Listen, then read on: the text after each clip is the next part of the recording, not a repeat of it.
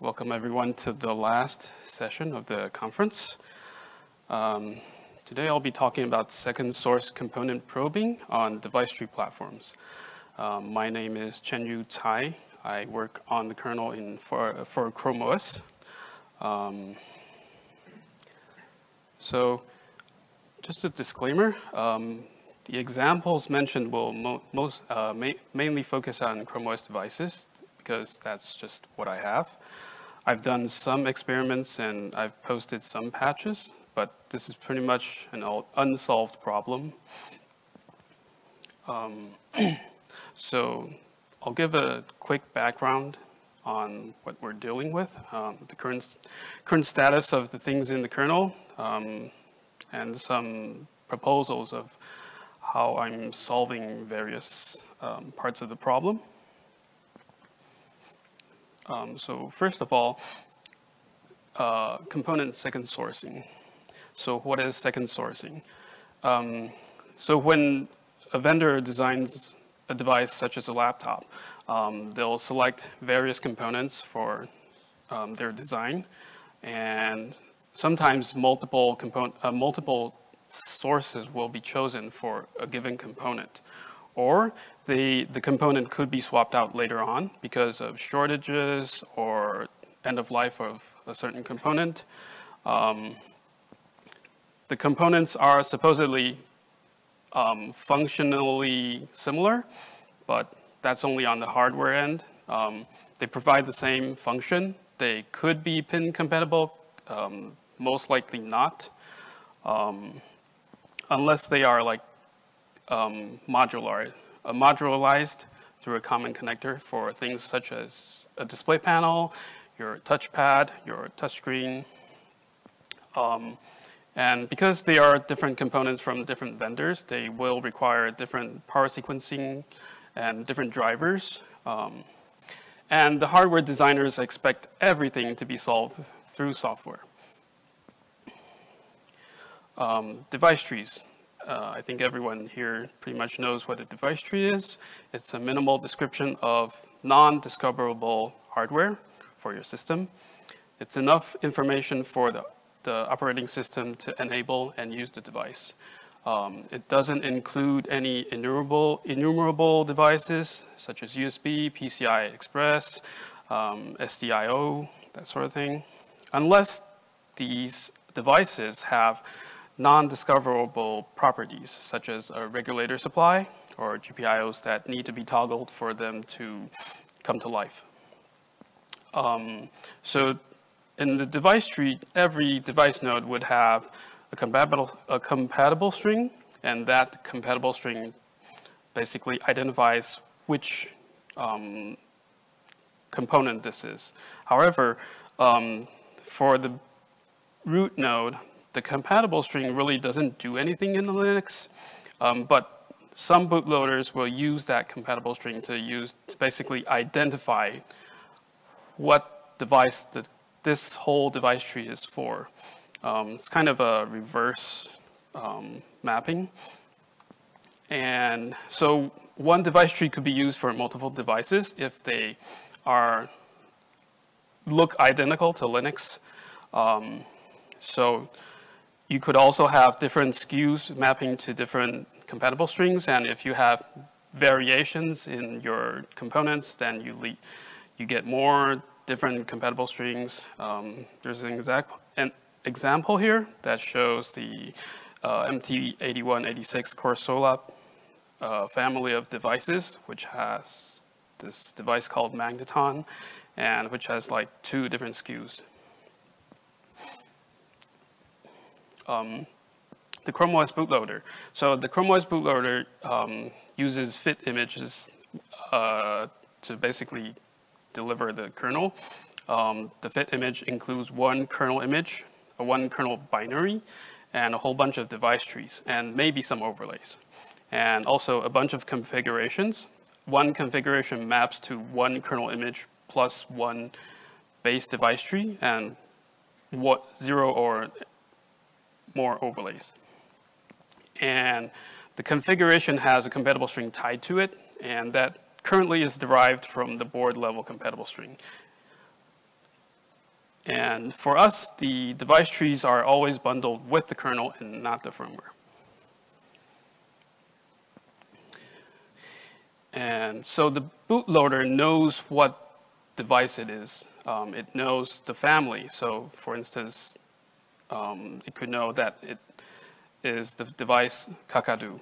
And then depending on the design, it could read an ADC for a resistor value or some GPIO strappings or maybe some EEPROM to figure out what the SKU number is, what the revision is, and then the bootloader generates a, a list of compatible strings to try. Uh, it goes through the fit image and tries to map, match one of its compatible strings to one of the configurations in the fit image.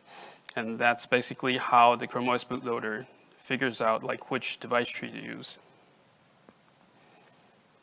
Um, some related work, um, Elliot had a talk uh, yesterday about shipping multiple device trees. Um, a similar problem, but um, how we look up uh, which device tree to use is slightly different. Um, so our goal is to reduce the overall fit image. Um, you could re either reduce the kernel size or reduce the number of device trees bundled or reduce the sizes of the device trees bundled. Um, so this talk basically looks at decreasing the, either the number of device trees or the sizes of the device trees. And maybe try to move away from having to describe all the SKUs and the revisions in the compatible strings. Um, so the current status, uh, we have um, various design uh, variations. Um, so in some devices, we have the manufacturer is switching between different types of uh, trackpads or touchscreens. And every time the manufacturer introduces a new um, trackpad, they will basically add a new device node to the existing device tree. And since the new component's I2C address does not conflict with the existing ones, they will simply add the new device node and they won't bother with allocating a new SKU identifier for it.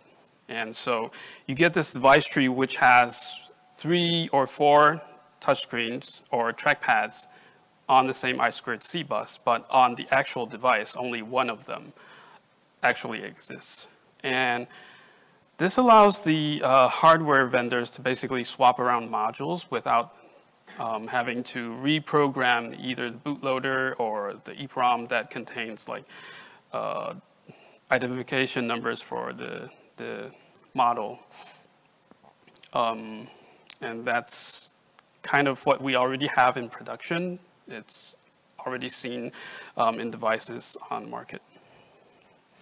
Um, but that only covers like the simple situation where you don't have conflicts. And recently a manufacturer introduced a new trackpad that has an address conflict with existing components. Now in this case, you can't add two, two device nodes with the same address because the device tree compiler would complain that either you have overriding device nodes or you would have to rename the device node and then the, the DT maintainers would yell at you. Um, so basically they, what we did was we allocated a new SKU ID for this new variant. And now you have two separate device trees, one with the old uh, trackpads and the new device tree with just one trackpad, the new one. And now you have like basically two copies of almost identical uh, device trees.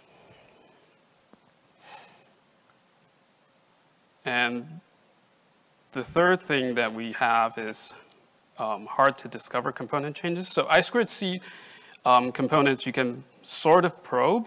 You can basically send a transfer to that address and if it replies, then, well, the device is there and maybe it's the correct one. But for things like uh, DSI panels uh, or cameras, um, that require certain power sequencing uh, commands, it's hard to actually probe these because you have to know ahead of time which sequence of commands to actually send. And so basically you have to have different SKU IDs and then di different device trees. And so again, you end up with two almost identical device trees. Now the last class is um, enumerable, enumerable component changes um, that basically have identical device trees, but for some other reason, internally they have to um, allocate a new SKU ID for it, and therefore you kind of end up with two device trees that have completely matching um, information. And so that's basically what we have right now. It's kind of different workarounds for different situations, and it ends up causing like tens or tens of device trees for one family of device. And we'd like to like reduce the number. Um, so now I'll go through some of the solutions or proposals that solve one of one aspect of the the uh, the problem. So for the device uh, for I squared C components that don't have conflicting um, conflicting addresses, um, I squared C bus is not discoverable. It's there's no enumeration. The expectation is you describe the device in the device tree. Um, and it's possible to probe the device. So if you tell it that, okay, there's a trackpad at a given address, you can send a simple transfer, and if it replies, then, okay, maybe the trackpad is there. Um, but there's no guarantee that the device that actually responded to you is the device that you are expecting. Most I2C components do not have a chip ID uh, that you can verify. Um, the only exception that I know of is I2C HID devices. They provide a fixed format descriptor. However, uh, the descriptor is not always at the same uh, register address. So the only um,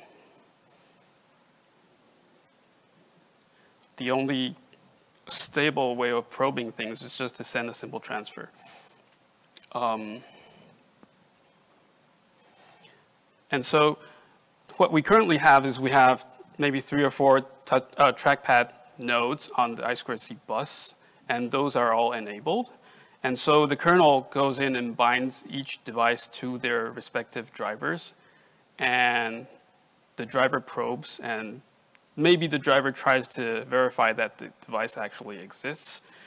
And somewhere along the line, all the trackpad um, drivers got changed to uh, synchronous probing. So now all these drivers probe at the same time. However, um, your trackpad might need a regulator supply, it might need a GPIO line, it might need an interrupt line, and these become shared resources within the kernel. And so if you have three drivers probing at the same time and all requesting the same resources. For regulators, you can share them. GPIOs, maybe, maybe not. Um, interrupts, maybe, maybe not. But it requires like you have to fix all the drivers to make them share the resource, and they're typically not meant to be shared. Um, so what normally happens is you have three drivers probing at the same time. One of them requests the resource successfully and the other two fail. And then the first one probes the device and then the, the device is not there, it doesn't respond, and then it fails and then you have nothing. Um, so that basically is kind of flaky. So you, you basically have maybe one will successful, successfully probe or maybe none of them will. And we've basically worked around it by moving some resources up a level into the I2C bus node And some, like the regulators, we just set them to always on. And in, for the interrupts, um, in the drivers, we've moved the request IRQ call to after the I2C probe, uh, I2C transfer probing. And these are all workarounds, especially the device tree where we move the resources up one, one level. Um, that does not match the actual hardware. Well, and well, we've been asked, can't you do probing in firmware? And sure, that's doable. Um, the ThinkPad X13S with the Qualcomm SoC actually does this. Um, but then it doesn't pass the uh, result to the OS if you're wanting to boot Linux.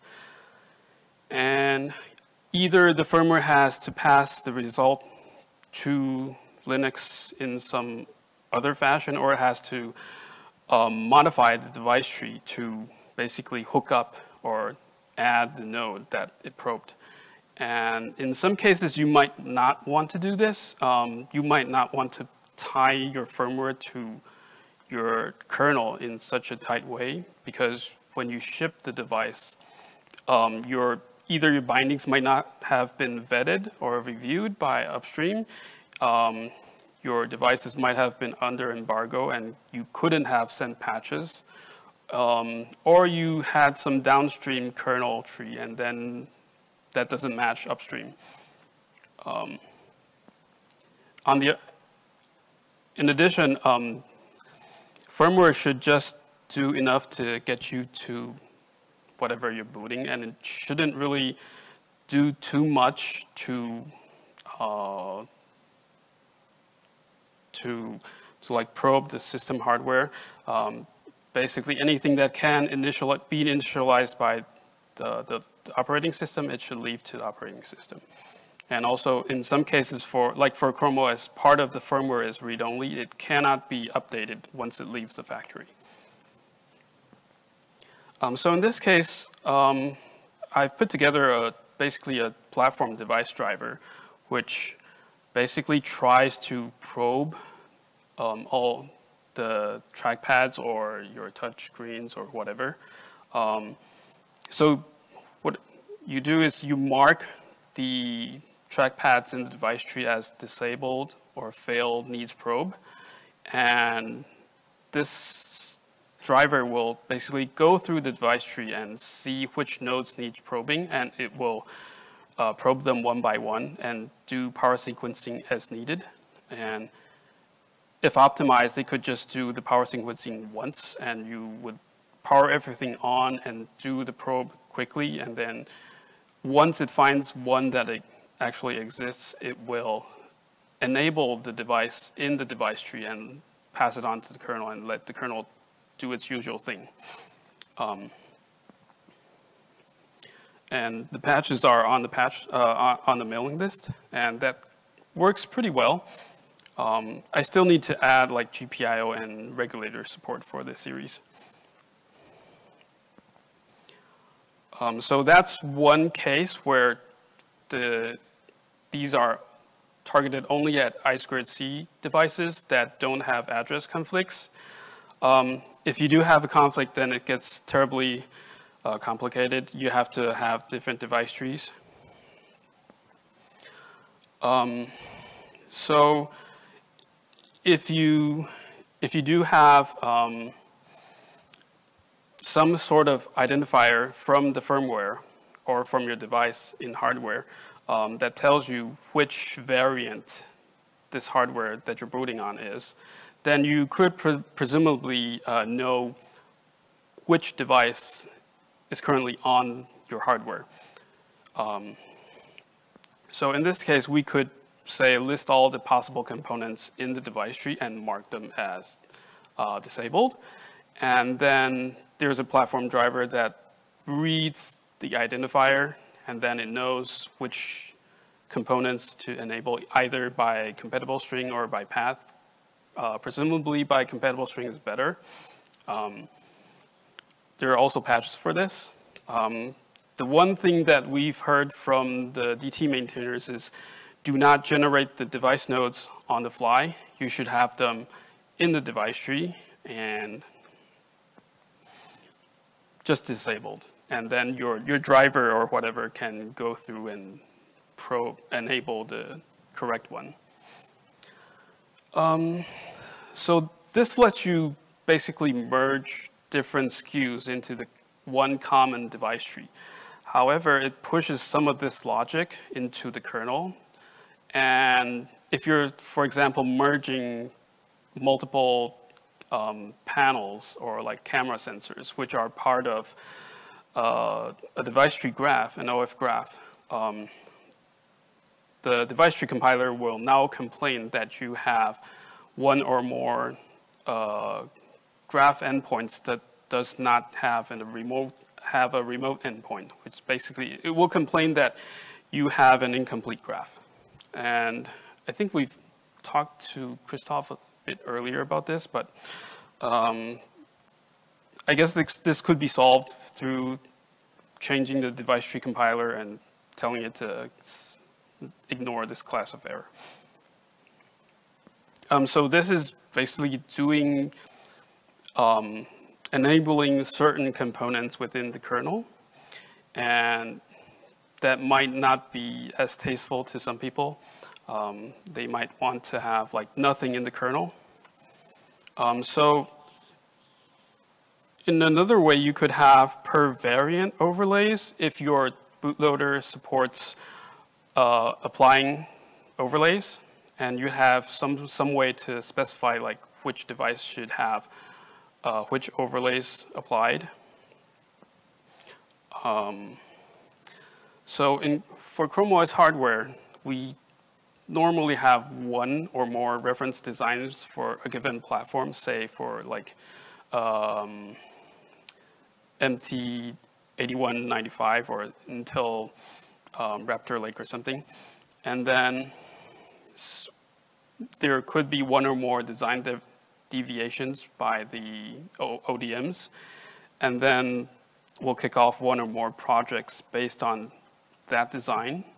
And each project will have one or more SKUs tied to it. So the SKUs could be, sorry, different RAM chips, different storage options, different Wi-Fi chip, uh, different display panel, different camera sensor, different touch pad, trackpads, touch screens, whatever. Um, the, the SKU variants go on and on. So for instance, the MT8186 SOC platform had, has two reference designs and one wasn't actually chosen for anything um, which is called, and the other is called Krabby, and we have like a DTSI file for it. And that got selected for the Tentacruel project, which has a number of SKUs. So that's a number of device tree files. And then there's a deviation, uh, a derivation design called Steelix that was done by the ODM. And that produced two or more projects called Steelix and Magneton, and those also have a number of SKUs. Um, so currently in tree, we have like one device tree for every SKU. So the 8183 Kukui family has 10 device trees. The 8183 Jacuzzi family has 17. Um, 8186 Corsola family has 10 and more to come. And basically because they are all derived or including the same DTSI files, you basically are duplicating most of the design um, in, into each device tree blob. And that adds up to uh, kind of a lot. Um, now say we could take all the um, all the design aspects that are common to a given device and put them in a device tree blob and move all the SKU variant variations, such as a different trackpad or a different touch panel, into an overlay.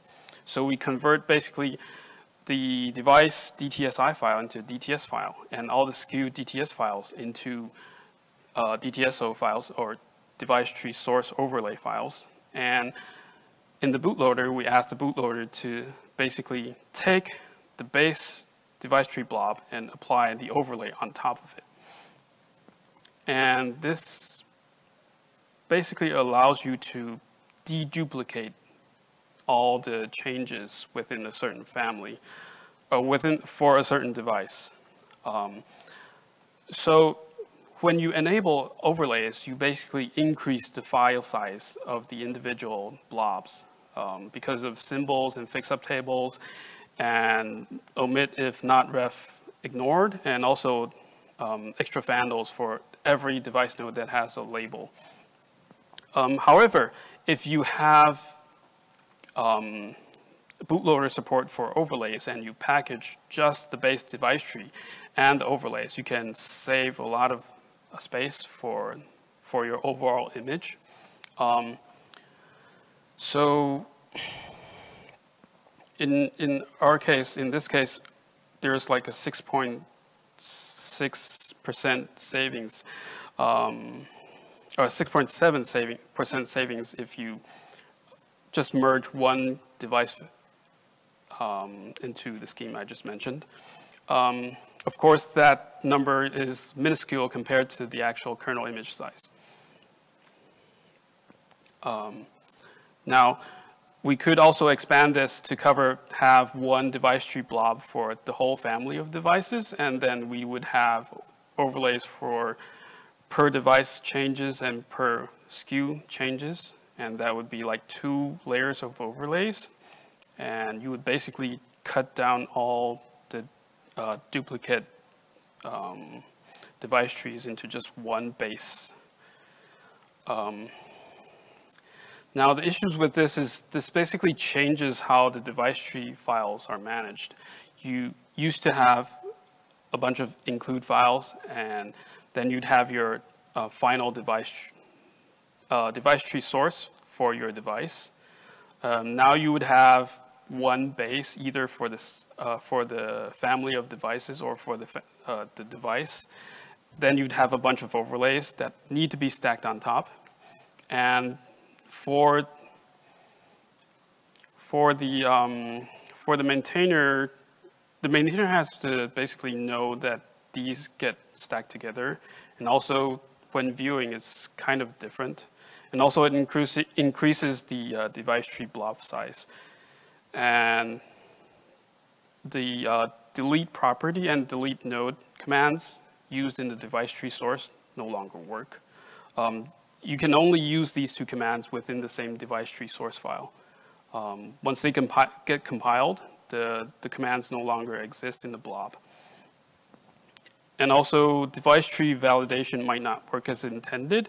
Um, device tree validation happens with each um, invocation of the device tree compiler. So the base gets validated once, and then the overlays get validated separately. And however, the composite um, DTB, the, the base with the overlay does not get validated. And also you need bootloader supply uh, support for overlays to actually um, use the overlays. Um, so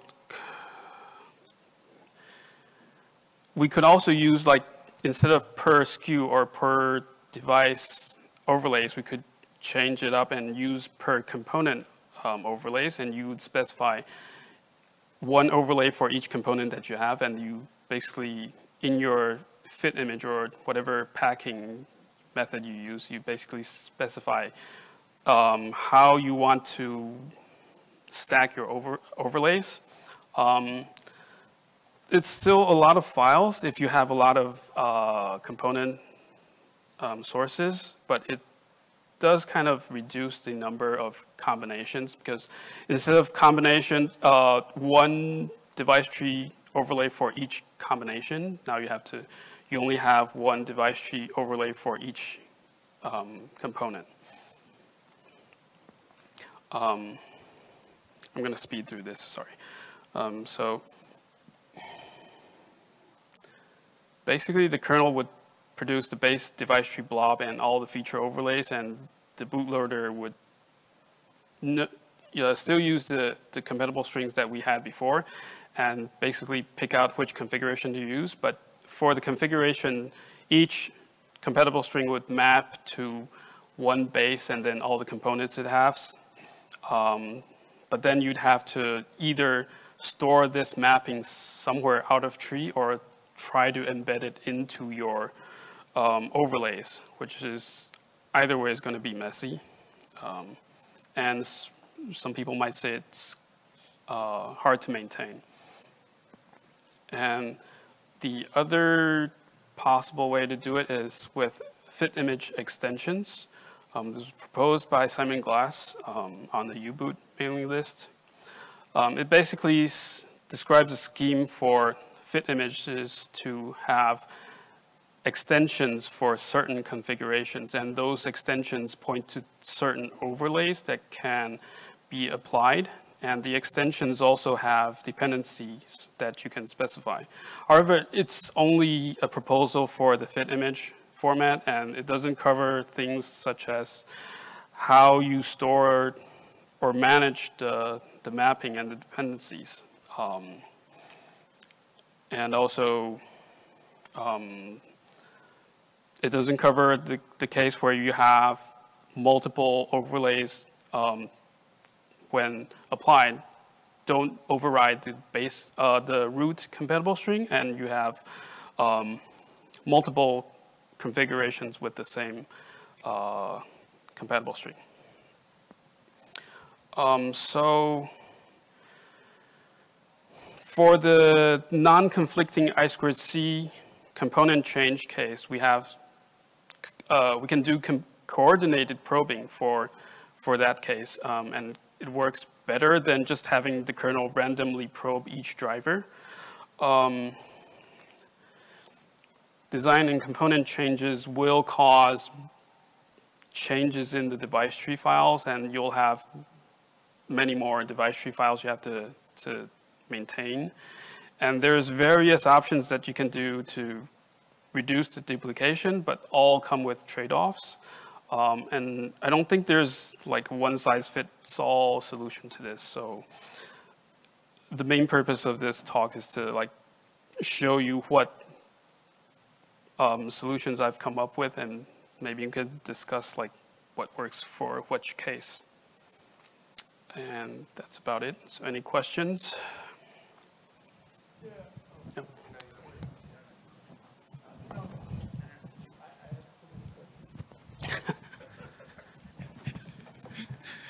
Yeah, in Linux, uh, device driver is all loadable, right? So they do they have independent uh, code that you develop? I'm sorry, I don't quite get the. Question. So how do you build a tree? Are they uh, relocatable object? Uh, no. A tree? No, the the device driver itself. Um, so I guess the device driver is within the kernel tree and it's either built in or as a module separately loaded. And right. yeah. About that, that when you create a uh, device driver module, do you have to create a position independent code? Um, oh, you don't know. That's okay. Uh, so the, the scheme we, I use now is just basically when there's the, each module would have an init code, and in the init code, it would create a platform device yeah. that matches the device driver, and the device driver, the, the device driver or the manager device driver gets probed, and that will do all the probing. Yeah, no, actually, the, the, the word probe, I don't know, you use it probably different than I, how I understand it, but that, that's okay then. Okay. I think KBuild takes care of all the position independent code KBuild will take care of, and like when you load the module, the, your driver module, that'll take care of but any. You create the object itself, you have to make sure that it's independent, so that way you can load any way you want. But yeah, you, kernel takes care of that. You have a static address space, then the, the bootloader or wherever that loader device driver has to go where put it at. Yeah, the, the, the build system. You go to different device driver and see. Oh, no, this isn't like deciding which drivers to load. This is deciding no, it's, which it's, devices it's, to probe. This isn't deciding which driver to load. It's probing or accessing the I2C bus and checking which device actually is there, and then enabling that device node in the device tree. So you have devices listed in the device tree that are currently disabled, and you tell the kernel to enable this one. Uh, yeah, actually, for me, I2C is so simple, and you created a device driver pretty costly. yeah, so you, you can't really do, like you can't do direct hooks in the kernel. You have to have something that starts it. Yeah. I was just going to comment. I was surprised to see that your device tree, like when you do an overlay, your savings are not that high. Um, I, at least in, from what I can see, you know, in Qualcomm. Yeah, so I haven't taken measurements in a while, but in my mind, it's all those symbols and fix up, fix-ups. I can't imagine. I mean, I hope they're not taking, even if they take the exact same size, you know, doubles the size of the DTB, uh-huh. you only need to have two overlays before it starts giving you savings. Um, yeah, so the numbers are for the whole family that's bundled, but only one of them is converted. So it's like, um, I guess out of 30 DTBs, only four are converted. So it's not the whole thing. Oh, okay. I forgot to put the actual, like okay, one device numbers into here. Okay, so this is only Sorry. like a few have been converted. Yeah. And so, okay, yeah, yeah. So, but overall, I think one thing to, to look at is, as Chen Yu said, is that even the device trees, all of them together are still not a giant chunk of the kernel. Yeah, so right? the, the whole bunch of device tree blobs is like, I don't know, hundreds of kilobytes, and the kernel image compressed is something like 12, 13 megabytes. Right. Yeah. yeah. No, I, I just was thinking you'd see higher savings. It's still a good a decrease, so I'm just surprised it's not more. Um, I, I think doing the trying just put all your nodes in the device tree, like you were talking about for I2C, and just see if it probes is actually really interesting. Um, especially since I think hopefully we're going to start to see more devices trying to be supported upstream. Yeah, um, so we so have this, and also the ThinkPad 13S has this, and basically you have to do a dance with all the device drivers to make it not fall over. Yeah. And that's really ugly. So I talked to Wolfram last year about this, and I basically explained the whole scheme to him, and he's like, "Oh God, this is so." maybe we should talk to like Saravana from Device Link and see if maybe he has thoughts on um, it. I, I, don't know. I, I don't think Device Links has any way to say these things are mutually exclusive. So the mutually exclusive group thing was proposed by Doug and then shot down by Rob. So. well, I mean, he did give other alternatives. I think we could have made it work if we kept, if we keep working at it. I think we can make uh-huh. that work. I think it doesn't solve every problem, but I think yeah, it only solves the right. non-conflicting it, one. It solves the non the non-conflicting ones really really well. Uh, because it just totally gets rid of the whole explosion thing, right? Like you just see all the possibilities in the same device tree, and not having the overlays to conceptually worry about and all that. It, it's just really nice. And so it solves that problem well for a lot of simple cases, and it, it may be worth doing. And, and I think we could, I think we could get it solved and we could get it landed uh, with enough spinning and coordination. I think there's enough agreement that it's useful. Yeah. But I think also it's a little bit discouraging to work on because it doesn't solve every case, right? Like it doesn't solve the dual MIPI panels and it doesn't solve, you know, some of the more complicated cases where you have all these graphs and things that don't don't live in the same device tree very well. So. I mean, I, I just am thinking from the perspective of we're going to see more devices coming upstream, and so just it'd be nice if we had an easier solution for some cases. That yeah. yeah. It feels like we, we, we want both. Yeah. Want yes. Yeah. Both. Yeah. Yeah. Uh, the, the, only reason I was bringing up Saravana was because you were talking about asynchronously probing, and mm-hmm. that just in my mind yeah. brought up Saravana. So, um, yeah. Any other questions, or are we all headed to the closing game? Okay, guess that's it then. Thank you, everyone.